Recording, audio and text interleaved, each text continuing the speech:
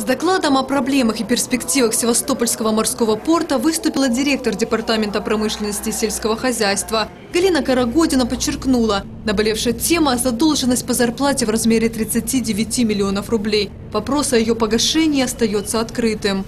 Динамика процесса может быть прописана правительством а, только после а, согласования с а, федеральными структурами о, о том, что однозначное а, согласие Министерства финансов о том, что данная задолженность может быть погашена из, бюджета, и только после этого будет, скажем так, составлен график, в том числе он будет и с вами согласован. Представили в докладе и цифры. В частности, в рамках федеральной целевой программы в 2015 году предусмотрено выделение 100 миллионов рублей на реконструкцию четырех объектов – причалов у Графской пристани, в бухтах Голландии, Тройская, а также в Артбухте. На 2016 в планах начало строительства пяти пассажирских катеров, а также развитие перегрузочного комплекса в Малом Инкермане. В 2018-2020 годах предусмотрено выделение 325 миллионов рублей – из них на окончание работ в Малом Инкермане, окончание строительства пассажирских катеров,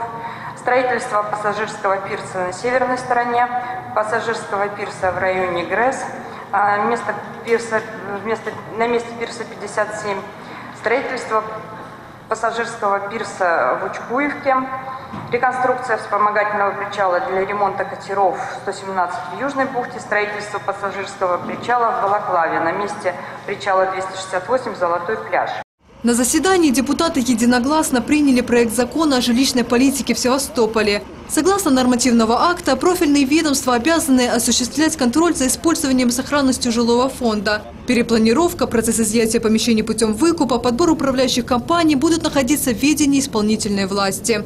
Также законом предусмотрено бюджетное финансирование на помощь гражданам по улучшению жилищных условий.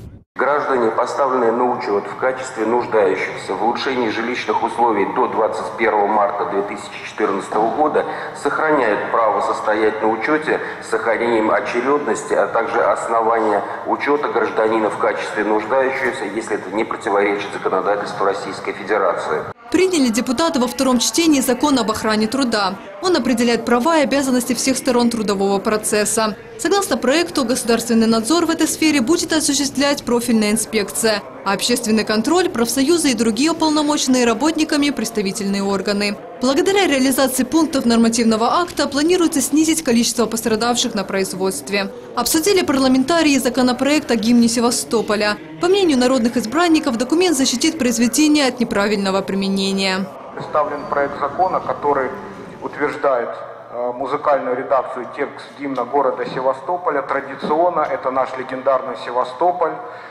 Э, музыка Вано Мурадели, слова Петра Градова. Э, вам представлены музыкальные редакции гимна города Севастополя. Это партитура, которая представлена ее разработчиками, ансамблем песни и пляски Черноморского флота.